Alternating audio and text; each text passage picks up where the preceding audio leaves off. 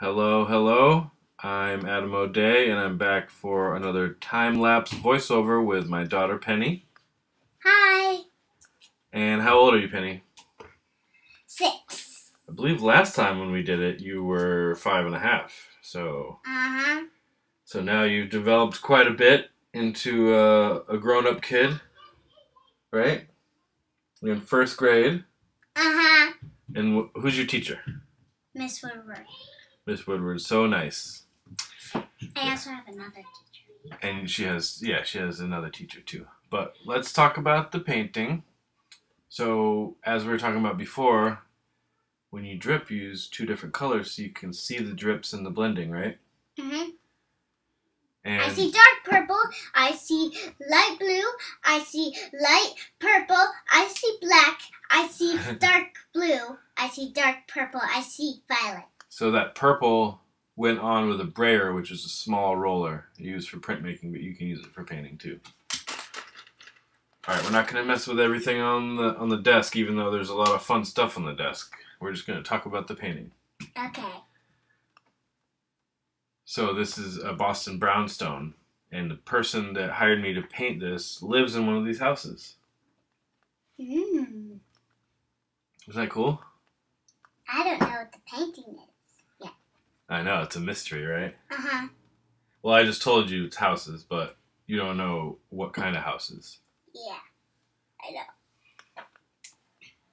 So the underpainting process, it's basically just I'm I'm blocking everything in, even though this video is sort of paused right now, but it's still recording our voices. Yeah.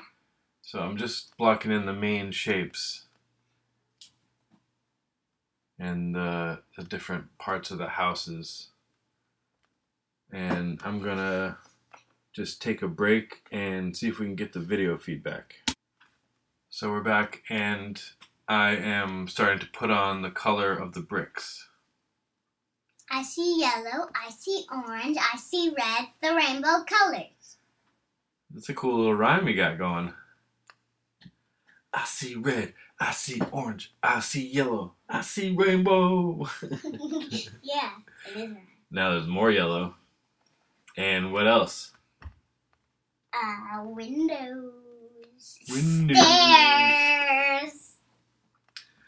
So the people live in the in the middle house, and Penny's giving me a big hug. Penny's in a huggy mood lately, and she misses her friends. And would you do you want to say anything to your friends out there if, if they're watching? Beatrix, you want to say hello to Beatrix? I hope I see you soon, Beatrix. I'm sure we will. So cool. So this is where the highlights and shadows are being added to the bricks. I see light orange. I see light yellow. And that's all I see. And I see some white bricks up top and some gray inside. And the street with stairs. But check this out. You see all this texture that's going in there? Because bricks aren't smooth, are they? What are, what are bricks like? Um, Are they smooth? heavy and rocky. They're like rough, right? So you have to make that surface of them believable, bumpy. Yeah, that's one way to do bumpy. What do you think of the back of Daddy's head? I have no idea why you sometimes, like all the time, sometimes wear a. Ponytail? Actually, a bun. I, have, Actually, a bun. I do have a bun. Actually, a bun. And you're wearing one right now. Yep. Sometimes you wear a bun when you go to ballerina class. No, I don't. I wear ponytails. You never wear a bun? No. No? No. Well, I'm gonna get the video feedback once again. Hold on.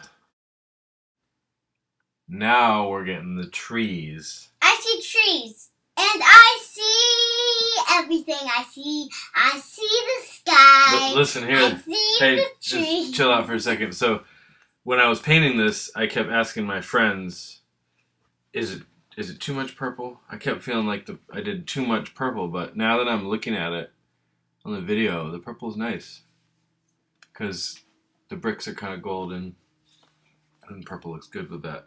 I love purple. So this is the finished painting, Penny. What do you think? I like it. Yeah, what's your favorite part? I like I like the um bricks. The bricks and the pinks and the oranges and the purples. Yes.